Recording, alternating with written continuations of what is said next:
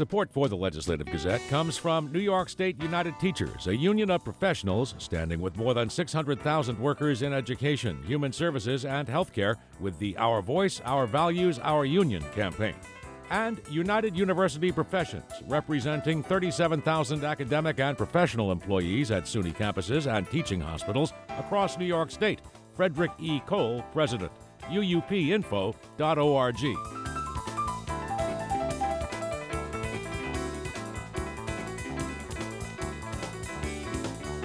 The economy of central New York and much of upstate will be transformed following the announcement this week that tech company Micron will make a $100 billion investment to build a series of state of the art semiconductor fabrication plants near Syracuse.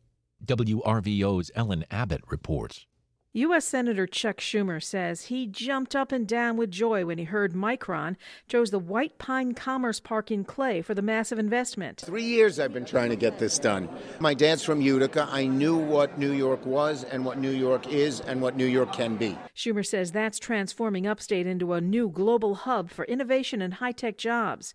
New York Governor Kathy Hochul agreed Micron's plans to build four separate semiconductor fabrication plants is life changing. Something so transformative and scale and possibilities that the economic future of New York State is now beyond imagination. Micron's been looking at the White Pine site in Clay for a while now. The competition ramped up following state and federal legislation passed this summer that offered massive incentives to companies that want to produce computer chips in the U.S. and New York State. Micron CEO Sanjay Mehrotra says Central New York won out for a number of reasons. The diverse talent pool here the university, the education system, the reliable clean power and water, alignment with Micron's sustainability goals, uh, and of course, uh, the support here from the state as well. Onondaga County Executive Ryan McMahon's been championing a deal like this at White Pine for years, touting the 50,000 jobs that come with it. It's everything from the psyche of the community to the tangible reality that we're going to have every local trades working on this, building this project. Uh, we're going to have opportunities uh, for our underemployed to get the jobs they need. Site preparation starts next year. Construction begins in 2024.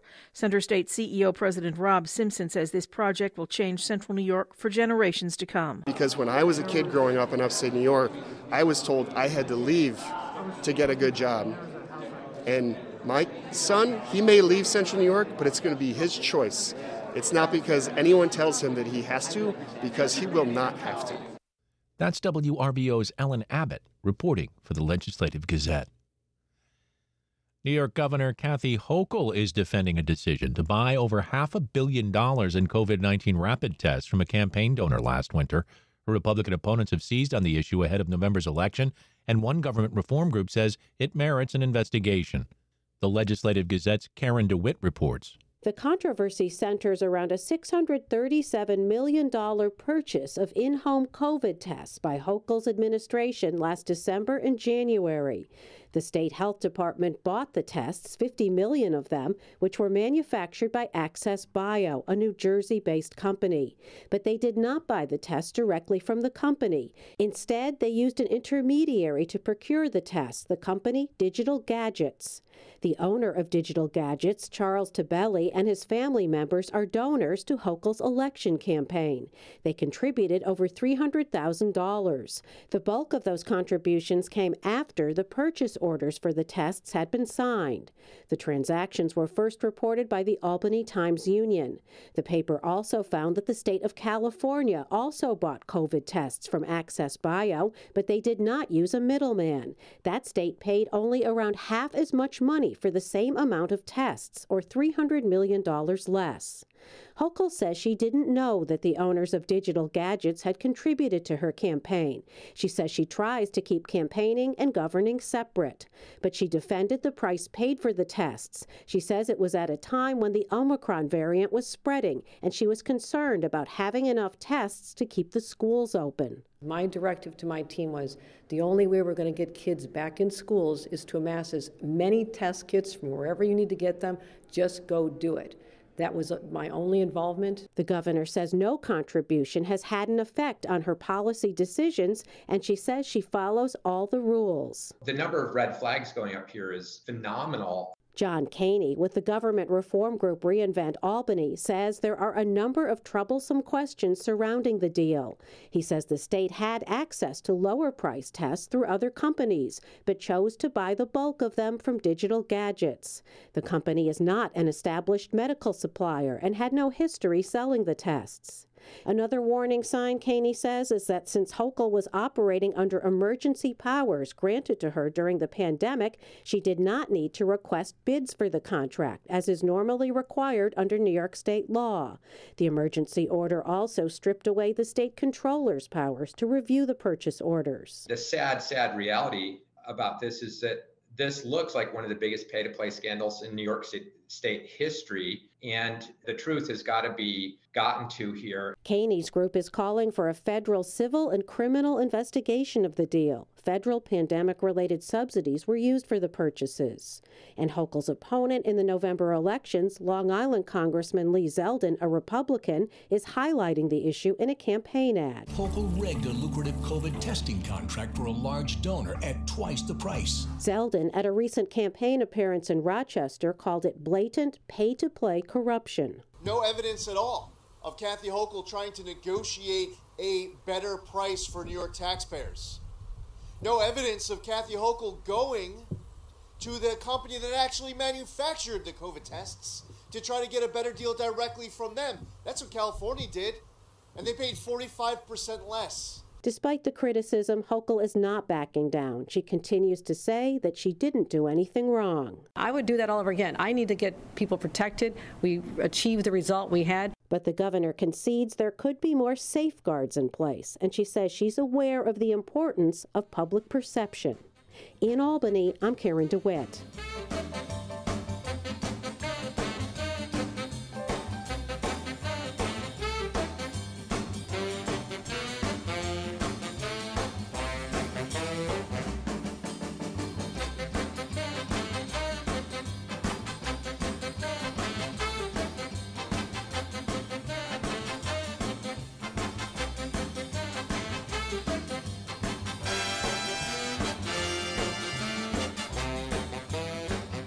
Are listening to the Legislative Gazette, a program about New York State government and politics. I'm David Guistina. Joining us now, Legislative Gazette political observer Alan Chartock. Alan, New York Governor Kathy Hochul, mm. as we just heard from our Karen DeWitt in the program, is defending a decision to buy over half a billion dollars in COVID 19 rapid tests from a campaign donor last winter.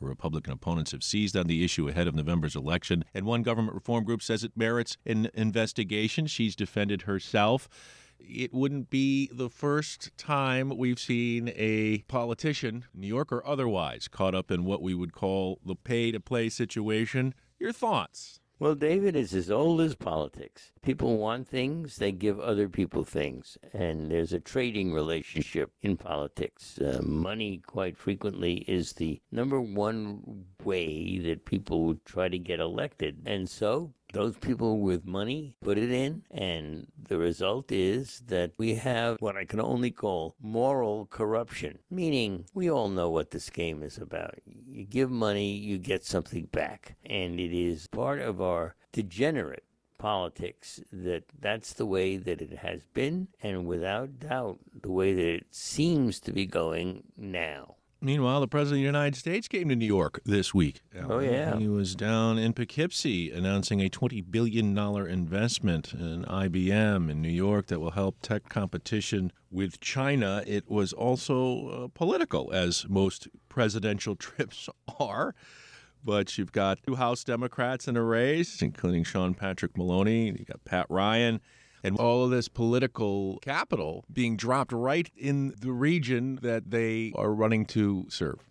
Well, you know, there are some congressional seats which could go either way. And when the White House and its political operations see that, that is a chance that they just can't take. So they got to be very careful about how they do this and where they spend their time. You know, you only got one president, and he could go to Colorado or he could go to New York State. If he comes to New York State, it generally means somebody's worried about something because you're using a precious asset.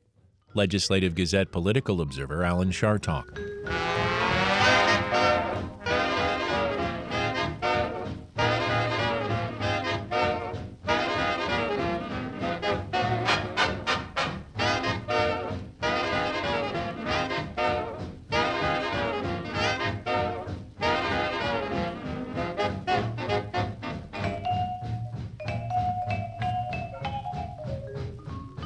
You are listening to the Legislative Gazette, program about New York State government and politics. I'm David Guistina. Democrats held a press conference this week criticizing the New York State Labor Commissioner's order to lower the farm worker overtime threshold from 60 to 40 hours over a decade. The Legislative Gazette's Dave Lucas has more. The order to phase in a 40 hour week for farm workers by 2032 was issued Friday on recommendations made by the Farm Laborers Wage Board.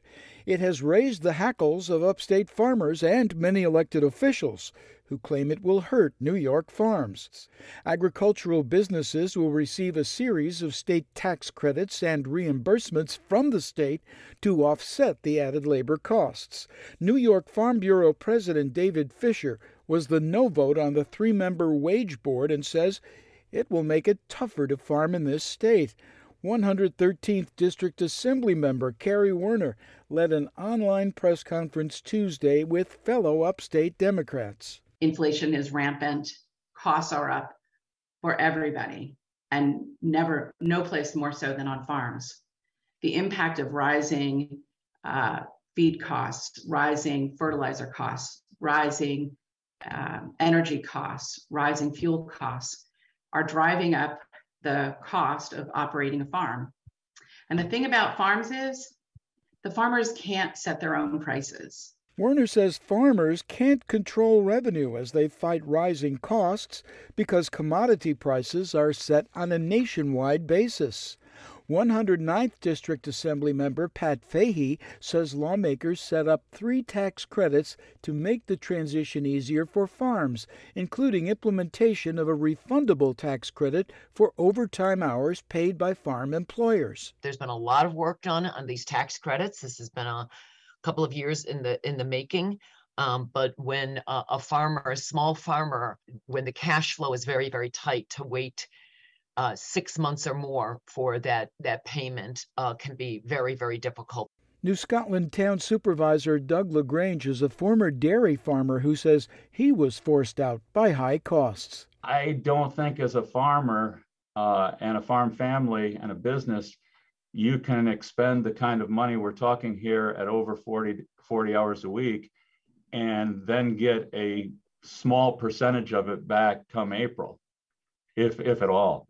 So, though I appreciate the intent, there's no guarantees. There's no guarantees that would carry over from year to year. You folks know this, being in the legislature, that not all things, you know, stay forever. And something like that tax credit could get voted out next year for some reason. Woerner says the new policy will end up diminishing the workforce, further imperiling smaller farms. Republican Dave Catalfamo is running against Woerner for the 113th seat. He says the time to assess and address what he calls a potential disaster for New York's agricultural industry has passed. Independent uh, researchers such as Cornell University is saying that, that this action is going to result in the closure of farms in New York State. It, it, it's not enough to have a press conference the day after you know bad policies come down. If you're at the table for this, then you're supposed to affect it. And the fact of the matter is, is that upstate Democrats have been marginalized by New York City and their agenda. They just have. That there's no other way to to articulate that. We need change in Albany. For the Legislative Gazette, I'm Dave Lucas. With a move to form unions at a number of organizations across New York State, non tenured track faculty at Skidmore College in Saratoga Springs recently voted to unionize. The Legislative Gazette's Lucas Willard has that story. Majorities of full time and part time non tenure track faculty at the private liberal arts college voted to unionize with SEIU Local 200 United. The votes tallied 64 to 35 in favor for full time NTT workers, 38 to 19 for part timers. The votes came after a push for unionization from the group Skidmore Faculty Forward. Skidmore English professor Ruth McAdams is a member of the group's organizing committee. She spoke with WAMC after the successful votes conducted by the National Labor Relations Board. It's the result of months and years of outreach and community building among people, many of whom didn't know each other before we started. And um, uh, you know, are often encouraged to see each other as competitors for limited resources. McAdams says a key concern of NTT faculty is a lack of job security. Across the college, Skidmore uses short term staffing to fill long term instructional needs.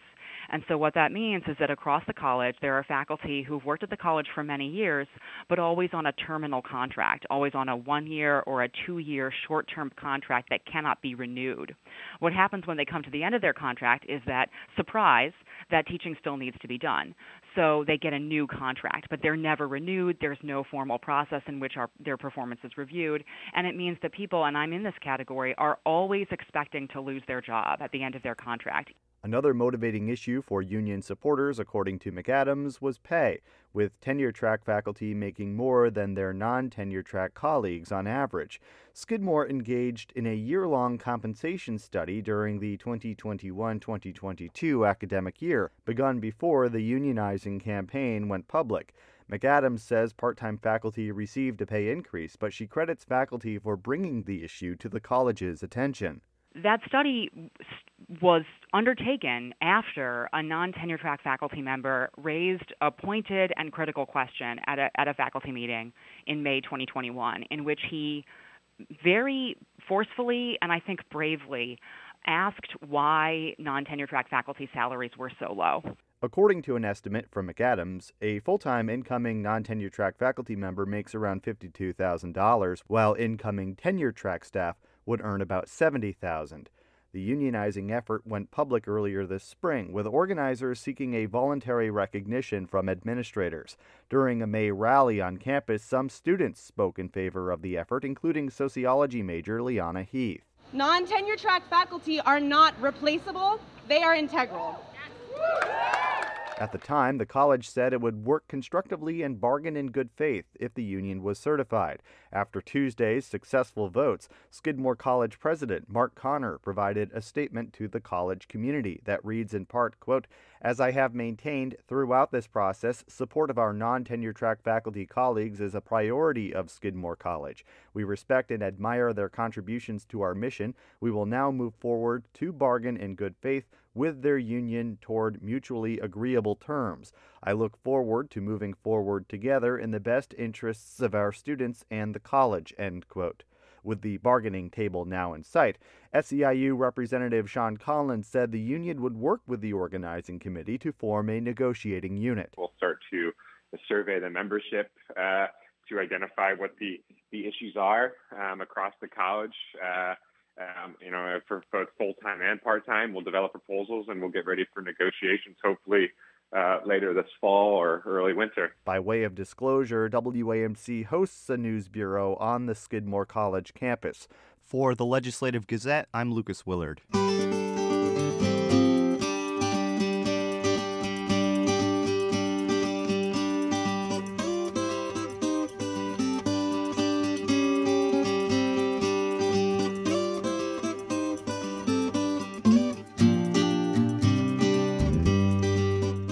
Listening to the Legislative Gazette, a program about New York State government and politics. I'm David Guistina. The COVID 19 pandemic altered many aspects of life, including work. Teleworking expanded to multiple industries, decreasing the number of people commuting in daytime populations of metropolitan areas across the country using information collected by the U.S. Census Bureau after the onset of the pandemic. A data brief from the Rockefeller Institute of Government aims to predict how remote work will impact the economy and city planning going forward. The Legislative Gazette's Jim Levulis spoke with the brief's author, Future of Labor Research Center fellow Liz Farmer. They began by discussing the data collected by the Census Bureau. Yeah, it's called the Household Pulse survey, and they launched it in the early months, I want to say April of 2020 during the pandemic. And it was largely a data driven effort to gather and crunch as much data about what was going on with workers and, and people's movements and basically how the pandemic is affecting their lives and then to be able to put that data out there for policymakers, for researchers, as much in real time as was possible. This household pulse survey, I've seen it cited a bunch of times, and it has been extremely, extremely useful for those who want to track, you know, how the pandemic has changed our lives and what, how much of that, you know, change is going to stay. So they added a question on telework starting in August of 2020. So that's when the data that we have at the Rockefeller Institute begins, and it goes pretty much until August of 2022, which is the latest form of data we have. There is one difference in about about a year in, or you know, the spring of 2021. The wording on the telework question changed slightly. And so, in effect, it generally means you can still compare across the whole timeline, but you just have to be aware that that did have an effect, an impact on, you know, kind of a little bit artificially heightening maybe the telework question in the beginning and then lowering it after April of 2021. So you do see this this drop kind of across the board in April of 2021 in telework. And some of it is due to that question wording change, and some of it's due to, you know, we had vaccines and people were getting out and about again.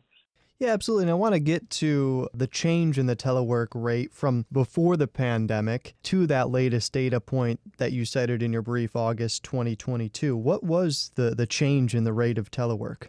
I can answer that looking at the average of the, you know, 15 largest metropolitan areas in the city because that is Uh, generally where where telework is concentrated. So prior to the pandemic, about a little over 5% of people reported teleworking. And and just to be clear, by teleworking, that could mean anything from, you know, full-time working remotely from home every single day to working from home, you know, one day a week, two days a month. So, you know, that definition varies, but it was about 5% before the pandemic. By August of 2020, when the data started, you know, when we started collecting data, it was over a third of people were teleworking, and that actually climbed up to a little bit higher um, in the fall of 2020. It was closer to 40% in in the major cities eh, because you know, as we know, the the the virus was running rampant at that point. Uh, then it starts going back down again. So currently in the 15 cities, as of August of 2022, the average rate of telework is just under 30%. How did the telework rates vary by annual income? So, income bracket is almost a, a proxy for access to telework, as we found in the data. So, around the beginning of the pandemic, households that earned 100,000 annually or more were reporting telework at rates of you know anywhere from 60 to even 65 percent in the you know first I'd say six months of the pandemic. That kind of trickles down a bit, and currently it's around still like just under 60 percent. And when you look at that in a graph compared with the other income brackets of you know 50,000 to just under 100,000 to 25 to 50,000 and then under 25,000 it is literally like looking at a cross section of strata you know earth strata and looking at the different layers because there is a huge gap between the 100,000 bracket and everybody else um, households that earn between 50,000 and just and like under 100,000 they were teleworking around 35%, sometimes 40%. Um, you know, in the, in the early months of the pandemic, now that's around 30%. The other income brackets, if you earn, if the household earns less than 50,000 annually, they're teleworking at rates of 15%, 20%, maybe uh, generally around 12%. So it's it's much much lower, and that hundred thousand dollar income bracket is just again, you know, people who earn that much money, more money, are more likely to be office workers and more likely to be in you know mid to upper level management. And of course, have more access to be able to do their work, their knowledge workers, anywhere that they, they have an internet connection. The other income brackets are not as able to do that in large part because they have to show up to their jobs and what about from the business side, the employer side of things? If I'm telling my employee, my worker, that they have to come in in the future, will I have to provide an incentive? Will I have to cover the cost of their travel if some of their colleagues are teleworking? Do you think that sort of thing could be in the mix? It could be, which is interesting because I think those kinds of things used to be, I don't want to say standard, but much more common, you know, back in the way olden days. Certainly that was not a thing as common in the years before the pandemic, but I do think we are seeing this rise, the rise of the worker. Workers are able to ask for more now because of this leverage of the need for employers to fill these open slots they have. But I think one interesting thing that the data shows in terms of this kind of push pull demand from those who think that we need to be more in the office, who are typically in management, and those who don't want to be in the office as much or want that flexibility. We saw we see that in the data um, when you look at the remote work by employee age. Um, you know, everyone's remote work. I mean, there isn't much difference except for the older bracket, 55 to 64, in who's telework in the early months of the pandemic. But after April 2021, which is kind of you know our barometer for like how how are things starting to normalize, you see this um, this separation. So those who are most likely to telework now are between the age of 25 and 39, or 40 to 54. So it's um, those older workers who also tend to either be um, close to retirement or um, or in management um, you know, those are the ones in charge. And, and this is anecdotal, but I hear this a lot from folks who are, you know, in their 40s and 30s, feeling like they are, they they want more flexibility, and they're feeling this resistance from those in management um, who want to kind of have more of a an in-person work atmosphere again. You know, maybe offering telework once a week or once every other week, sort of thing. And and you know, I've seen this again. This is anecdotal and conversational, and not necessarily uh, based on any official survey data. But you do see that in the data, this kind of separation in terms of who's teleworking, you know, by age, and and there is a big difference between those, you know, the the 25 to 39 age bracket and and some of those other ones. That's Future of Labor Research Center fellow Liz Farmer speaking with the Legislative Gazette's Jim Levulis. And that about does it for this week's show. We had help from the New York State Public Radio Network. For copies, call 1 800 323 9262. That's 1 800 323 9262. Ask for program number 2240. Or just listen online at WAMC.org or schedule a podcast wherever you get your podcast. And join us again next week at this same time for more news on New York State government and politics. For the Legislative Gazette, I'm David Guistina.